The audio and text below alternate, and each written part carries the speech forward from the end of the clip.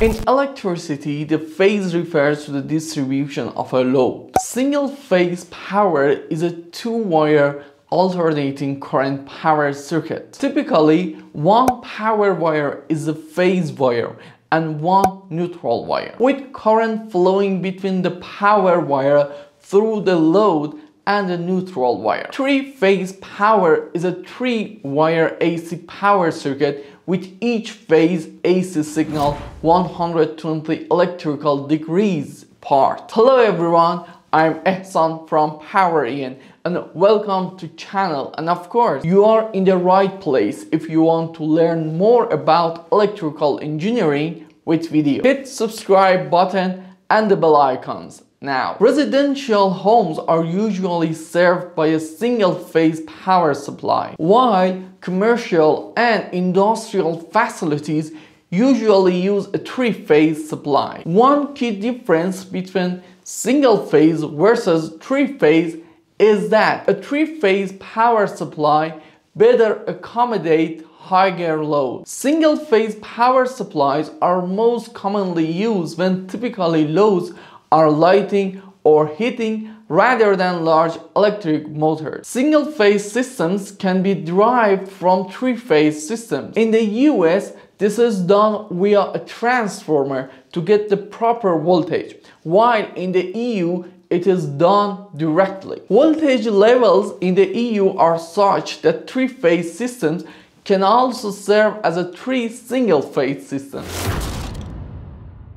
One other important difference between three-phase power versus single-phase power is the consistency of power delivery. Because of the peaks and dips in the voltage, a single-phase power supply simply does not offer the same consistency as a three-phase power supply. A three-phase power supply delivers power at a steady constant rate. Three-phase power supply are more efficient. A three-phase power supply can transmit three times as much power as a single-phase power supply while only needing one additional wire. That is, three wires instead of two. Thus, three-phase power supplies, whether they have three wires or four, use less conductor material to transmit a set amount of electrical power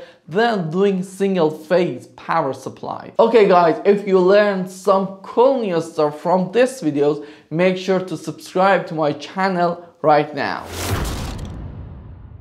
Some three-phase power supplies use a fourth wire a neutral wire. The two most common three-phase systems configuration are star and delta. A delta configuration has only three wires, while a star configuration may have a fourth neutral wire. Single-phase power supply have a neutral wire as well. Both single-phase and three-phase power distribution systems have rules for which they are well suited. But the two type of systems are pretty different from each other.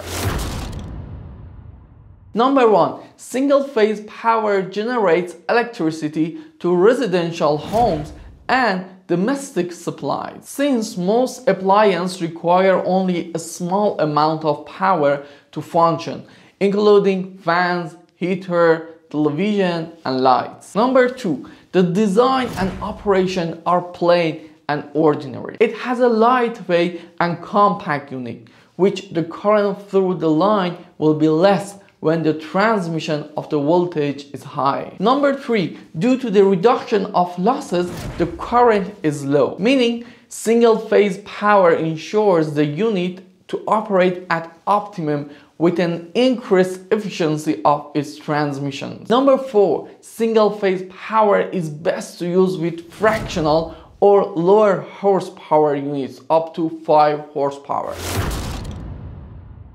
Number 1. Small single-phase motors need an additional circuitry such as motor starter. Since it is single-phase supply is insufficient for an initial startup. Number 2. Industrial motors require heavy electric loads.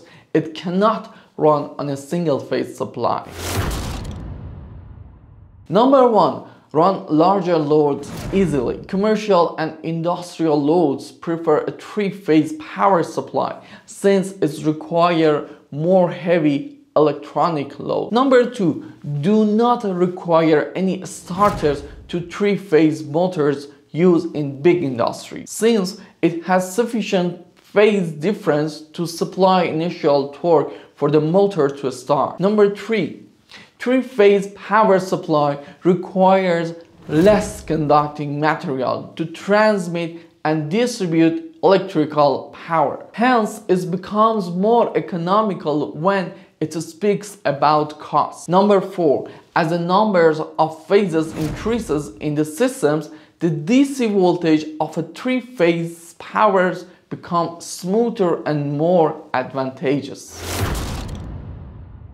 Number one, since the system voltage is quite high, the three-phase power supplies and motors maintain a high cost of insulation. Insulation depends on the voltage of the unit, while its size of the wire depends on the current. Number two, three-phase power units cannot handle overload, meaning when it results in damage, the cost of repair is higher since changing individual components is expensive. Do you think we have a system with more than three phases? And if so, in what application is it used? Leave your comments in the below section, please. The main consumption of electrical power, either single phase or three phase, is electric motor. In the electric motor, due to the starting condition, its consumption is 8 times the nominal mode. To solve this problem, we use starting methods. If you want to know two important ways to set them up and of course compare them together, do not miss this great video. In this video, we have discussed VFD and soft starter in detail. And finally, thanks for watching. See you soon.